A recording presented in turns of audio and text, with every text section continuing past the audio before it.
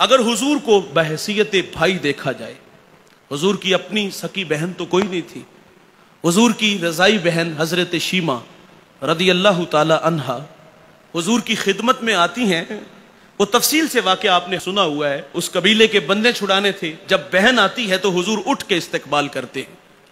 اور فرماتے بہن کیسے آئی ہو؟ عرض کی حضور، کچھ لوگ آپ کے ہاں ہیں ہمارے، وہ چھڑانے آئے ہوں۔ تو حضور نے فرمایا، بہن، زحمت کیوں کی؟ آپ کسی کے ہاں پیغام بھیج دیتی تو میں محمد سارے ہی چھوڑ دیتا۔ اور پھر بہن کو بہت سارے تحائف دیے، دروازے تک چھوڑنے آئے۔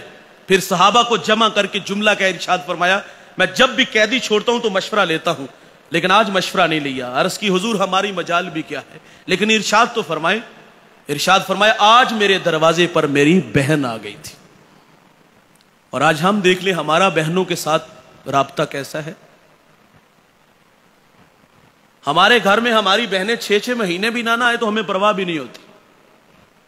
یہ تو چھٹیوں میں بیچاری اگر چھٹیاں گزارنے کے لیے آ جاتی، بھائی کے رویے دیکھ کے دو دن بعد واپس چلی جاتی۔ اور یار غریب بہن بھائی سے رشتہ لینے آ جائے نا، تو بھائی کہتا تجھے جرت کیسی ہوئی ہے؟ تو اپنی اوقات تو دیکھ، تو میری بیٹی کو دو وقت کا کھانا نہیں دے سکتی؟ رازق تو ہے؟ یہ بھائی کے رویے ہیں بہن کے ساتھ۔ لوگ ہم سے مسئلہ پوچھتے ہیں، مولوی صاحب، بہن نے توحفہ دیا ہے زمین۔ وہ بھی اس کی مجبوری تھی۔ وہ توحفہ اس لیے اس نے زمین تمہیں دے دی، اگر میں نے زمین لے لی نا، تو ساری زندگی کے لیے بھائی کا دروازہ میرے لیے بند ہو جائے گا۔ اور بھائی اپنے بچوں کو نفرت کا درس دے کے جاتے ہیں۔ پھپھو کو منہ نہیں لگانا۔ میں مر گیا تو اس کو میرا چہرہ بھی نہ دکھانا۔ اب پانچ کروڑ کی زمین تو لے لی۔ یہ تو پوچھ لیا کہ کیا یہ قبول کر لینا چاہیے۔ بہن کا حق تھا، تمہیں توحفہ دے دیا۔ تم نے بدلے میں کیا دیا؟ کبھی اس کا خیال آیا؟ کبھی اس کی جھولی بھرنے کا خیال آیا تمہیں؟ چھ چھ مہینے بھی نہ آئے تو پرواہ نہیں ہوتی۔ اس کے گھر میں فاقے ہو تو پھر بھی پرواہ نہیں ہوتی۔ اپنی بہنوں کے ساتھ رابطے میں رہا کرو۔ اپنی بہنوں کو عزت دیا کرو۔ ان کے پاس جایا کرو، انہیں پاس بلایا کرو۔ ان کی جھولیاں برنا میرے رسول کی سنت ہے۔ میں نے پچھلے دنوں ایک بہت بڑا مذہبی اسکالر ہے، اس کا لیکچر سنا، اس کی بات سیدھی دل کو لگی۔ وہ کہتے میرے پاس ایک شخص آیا، لاہور سے اس کا تعلق تھا کروڑ پتی آدمی تھا۔ اس کو بلڈ کینسر تھا، زندگی موت سے لڑ رہا تھا۔ اور اس نے دعا کی، درخواست کی کہا کہاں سے آئے کہا لاہور سے؟ ابائی شہر پوچھا، کہا فیصلہ آباد؟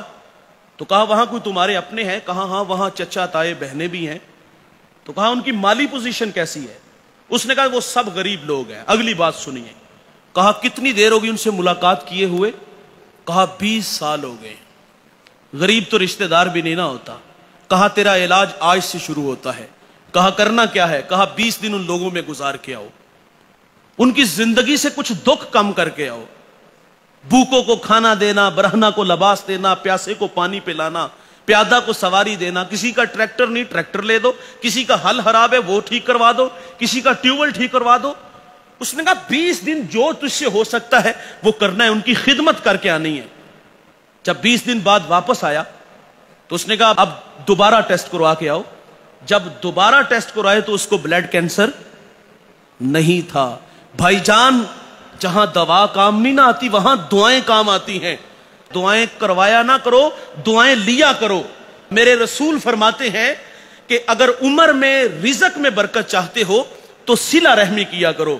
اور تمہاری سلا رحمی کے سب سے زیادہ مستحق تمہارے اپنے بہن بھائی ہیں۔ اپنی بہنوں کے ساتھ اچھا رابطہ رکھو۔ میں کہتا ہوں، یار، بچوں کے دل میں خالہ کا پیار ہوتا ہے، ہونا چاہیے۔ بچوں کے دل میں پھپھو کا پیار کیوں نہیں آتا؟ یہ ایک سوال ہے۔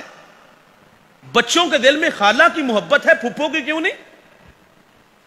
اللہ کے فضل سے میرے بچوں کی عادت ہے، جب میری بہنیں گھر آتی تو وہ پھول لے کے استقبال کرتے اپنے بچوں کو اپنی بہنوں کی محبت سکھاؤ تو حضور صلی اللہ علیہ وسلم اپنی بہن کے لیے کتنی محبتیں رکھتے ہیں؟ فرما دے، تو کسی کے ہاں پیغام بیچ دیتی، میں سارے ہی چھوڑ دیتا۔